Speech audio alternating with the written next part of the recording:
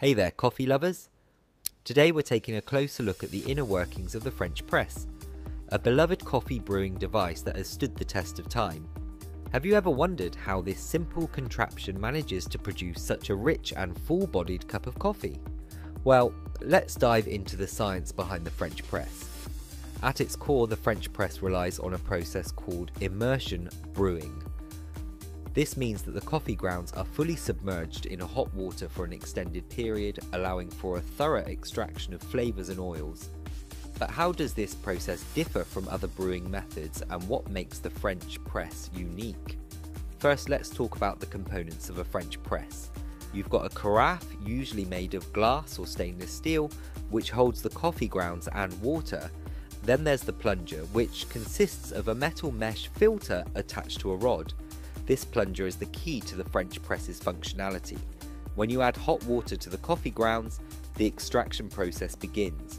The water molecules interact with the soluble compounds in the coffee, drawing out the flavours, oils and caffeine. The coarse grind of the coffee is crucial here because it creates more surface area for the water to interact with, resulting in a more efficient extraction. As the coffee steeps, the plunger comes into play. The metal mesh filter is designed to allow the brewed coffee to pass through while trapping the grounds at the bottom of the carafe.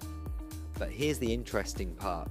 The metal mesh is not as fine as paper filters used in other brewing methods. This means that some of the coffee's natural oils and fine particles make their way into your cup, contributing to the rich, full-bodied flavour and slightly thicker mouthfeel. The plunger also plays a role in controlling the extraction time.